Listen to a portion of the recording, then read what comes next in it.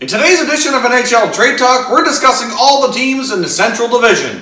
And that's coming up next.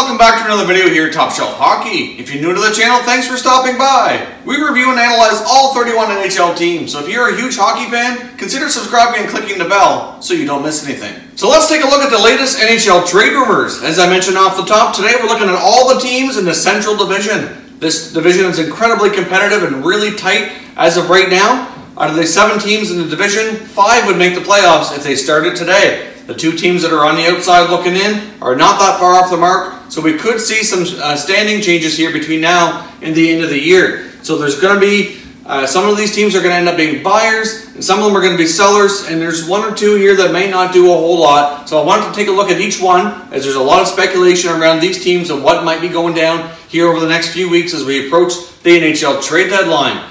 Let's start with the biggest surprise of the division this year, the Colorado Avalanche. I don't think any of us would have predicted that the Avalanche at this point in the season would be sitting in a playoff spot. I know I didn't, and it's a great surprise. Ever since the Matt Duchene trade went down, Nathan MacKinnon's been on fire, and that team has been doing tremendous. They currently sit in one of the wild card spots as of right now. Now, one of the things that's been most impressive with this team is that they've done so, their latest winning streak, without one of their top players and Tyson Barrie on defense. So the speculation right now is that since they've done so well without Tyson Barrie, is that when he returns, that they may actually look to trade him because they could certainly use an upgrade at forward. They could use another scoring forward to play on their second or third line, and that he might be the trade chip to get this done for them. He still has one more year left on his contract, so he wouldn't be a rental player for any team. But there's certainly lots of defensemen out there uh, on the market as we approach this year's trade deadline. Although you could argue that a lot of the defensemen that are mentioned in trade rumors right now, they're not top guys. A lot of them for most teams would be five, six, seven spots. So they're not a lot of marquee names or pending UFAs or anything out there on defense that's real attractive. There's all kinds of guys out there that could be valuable depth pieces for a lot of teams. Like I said, to be like a six, seven, or even an eight spot, depending on where they sit with any particular team.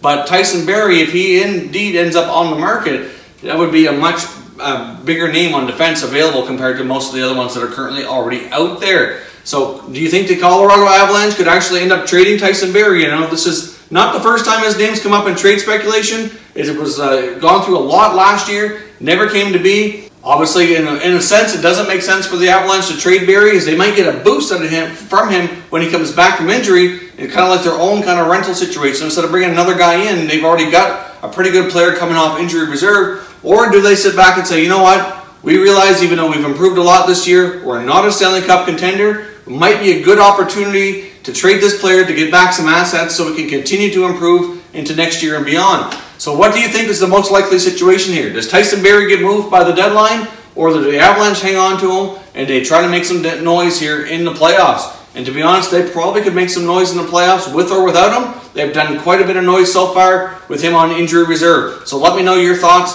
on the Avalanche and what might go down with Tyson Barrie. Now let's take a look at two of the other teams that are battling for the top three spots right now. That's the Nashville Predators and the St. Louis Blues. Obviously, it's been reported by both teams here for some time that they're more likely both going to be looking to add a forward as we approach the deadline. Ideally, somebody who can play, uh, ideally a top six role or at the very least a top nine who can be counted on to contribute in the scoring area. So who might these players uh, be that they are looking at? Well, they've both been speculated to be looking at the, a lot of the top guys on the market like Evander Kane, Max Pacioretty, um, Mike Hoffman, you can throw in a couple other guys now from the Rangers possibly on that list, like a Michael Grabner and a Rick Nash. Obviously, those guys are guys that those teams are looking at. I wouldn't be completely shocked here. Now, here's a thought for the Nashville Predators. If they're indeed looking for scoring, they've got a lot of guys tied up in long-term contracts. They're not too bad for the salary cap right now, but they've got a lot of good valued longer-term deals. If they were looking at one of those forwards, might it not make a lot of sense for them to look to the Ottawa Senators, maybe try to get Mike Hoffman out of Ottawa and reunite him with Kyle Turris? Obviously, Hoffman and Turris played together quite a bit in the last few years. They know each other very well, had some pretty good chemistry, and Hoffman has the kind of contract right now that would kind of suit what their team has. Like it's not real high, it's not real low. Like he's a good good valued contract. If he can get back to being a 25 to 30 goal man, then his contract is certainly very fair and, and good value. So that might be something that I wouldn't be surprised to see the Predators look at. The Predators and the Senators do have a history of making some trades, so that's something to keep your eyes out for. In regards to the St. Louis Blues, they've made it pretty clear they also would like to add a forward, but they're not interested in a rental situation. So they're looking to a player with a contract beyond this year. So that kind of narrows things down a little bit. I mean, obviously, anybody who's a pending UFA like Nash, Grabner, or even like an Evander Kane might not be the guy that they're interested in. Obviously, had been speculated that they also were interested in Hoffman, but they may take a look at Max Pacioretty as well. Hard to say if any of these uh, guys, especially Pacioretty and Hoffman, actually end up getting traded, but it's fair to say the teams like the Blues and the Predators certainly have interest in bringing in that type of player. The contracts seem about right what they're looking for, so we'll see if a deal gets done or not. Now let's discuss the Winnipeg Jets. The Winnipeg Jets are in an interesting situation here. Obviously, they have some adversity to battle through right now. They are currently without top forward Mark Scheifele, who's been out for just about a month now. So he should be back anywhere in two to four weeks. When he was originally injured, they estimated six to eight weeks. So he's probably looking at about another two weeks or a little bit better before he returns to the lineup. But now it's been reported that they lost defenseman Jacob Trouba, who's going to be out long term as well and he's their second highest uh, defenseman in terms of minutes played. So that's a big blow to the Winnipeg Jets. Now, does that change their outlook as we approach the trade deadline? Jacob Trouba more likely at this point may not be back until after the deadline passes. I mean, at this point, the injury just kind of happened and they, they need to evaluate exactly how long he's going to be out. But uh, at the same time, more than likely, uh, it sounds like it's going to be long term enough that he will be out past the deadline. So does that kind of force their hand to maybe look to the defense market to pick up a defenseman? They should have Scheifele back obviously before the trade deadline, so that shouldn't be an issue. That's kind of like another situation where you don't really need to go out and make a trade because you're getting your own guy back and he's one of the best players in the league. So they've done quite well uh, to keep things going here without Scheifele. So I wouldn't I wouldn't think they'd be looking to do a whole lot with the forward group. The Winnipeg Jets are certainly sitting in a great position right now, and I don't think they're going to want to blow this chance to do some damage in the playoffs. So what do you think? What do the Jets do? Do the Jets go and add a defenseman with Trouba being out long term? There's all kinds of guys out there uh, on the market on defense, although there's not very many that are his level of player. But at the same time, you know, because of uh, salaries and whatnot, they probably wouldn't want to add too big of a salary to the to the list of players on their team anyway. So you know maybe they add some extra depth. Hard to say, but Jets fans out there, what do you think the Jets should do? Do they make a move now because of the Trouba injury? Give me your thoughts down in the comment section.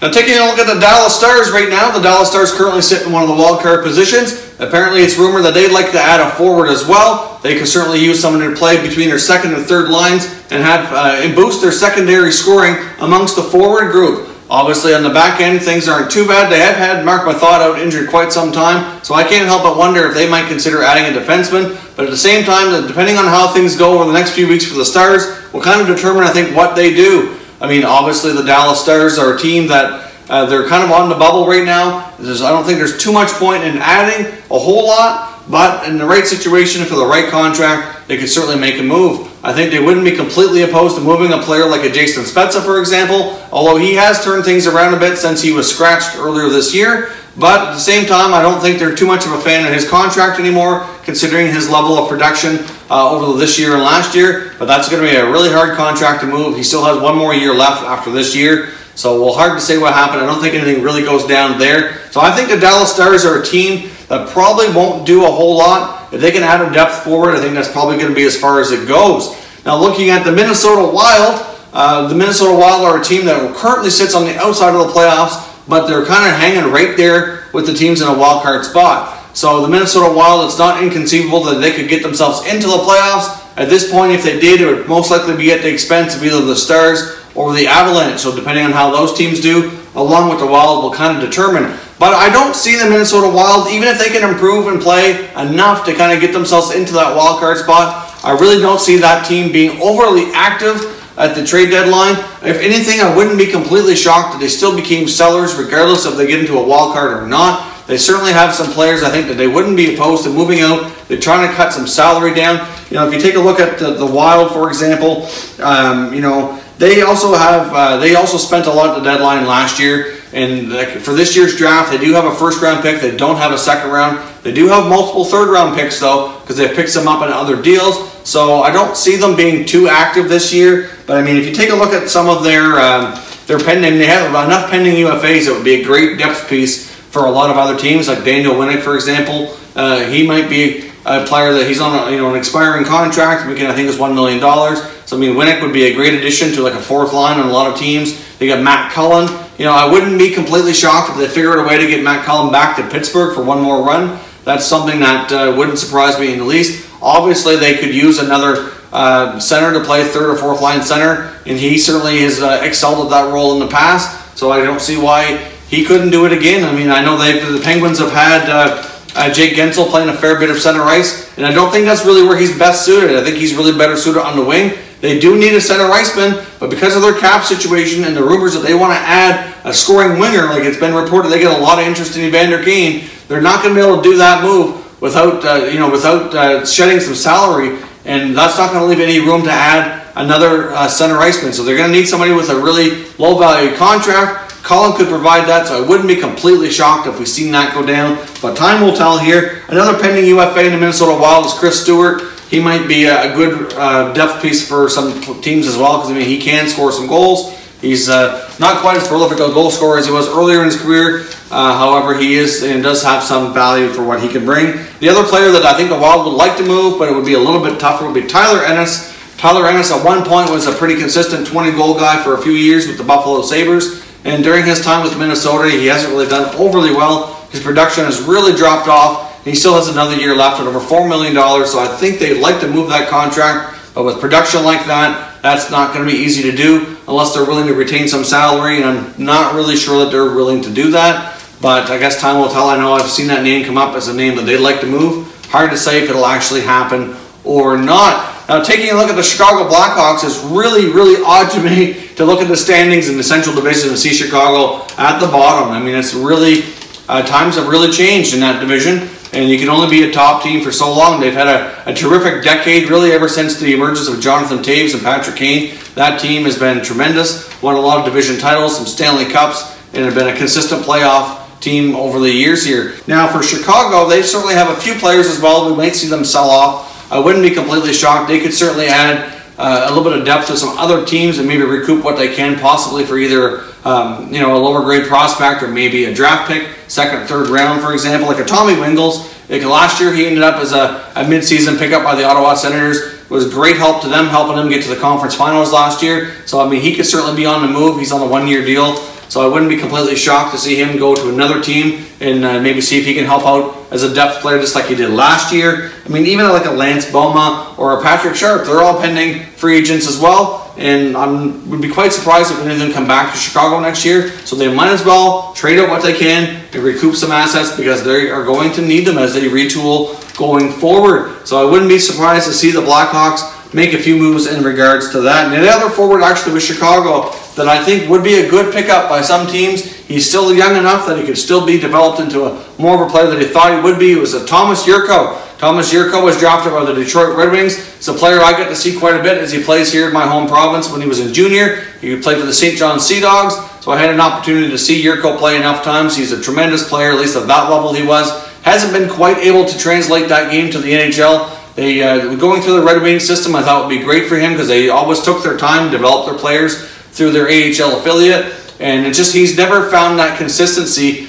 um, at the NHL level just yet. He's had his moments here and there, and last year in February he was traded from the Red Wings to the Hawks, and he just really hasn't caught on a whole lot. He hasn't even played a lot this year. He spent more of the year down in the minors than he has in the NHL, but he's still young enough that he might actually, given the opportunity, um, be able to pick up his game and find a new home here somewhere else in the NHL. He's a pending free agent, although he's young enough that he's still a restricted free agent, but still a player that uh, you know might have some depth and some value going forward. It's a pretty low risk, low contract uh, move for a team to pick up as they head for the playoffs. So as I mentioned, this Central Division is very competitive. It's very tight. We're likely going to see five out of seven teams make the playoffs. As of right now, I wouldn't be completely surprised. Like I said, I think Dallas and Minnesota aren't going to be overly busy. I wouldn't be surprised though to see Minnesota become sellers regardless of what goes down just to kind of try to recoup what they can. Same with Chicago. I really think Chicago unfortunately is not looking good to make the playoffs and I think it only makes sense for them to sell off some of these UFAs if they're able to try to recoup some assets so they can recoup going forward and uh, see what that team can do to try to get themselves out of the salary cap issues that they have. But I fully suspect the top three between the Blues, the Preds, and the Jets to be somewhat active.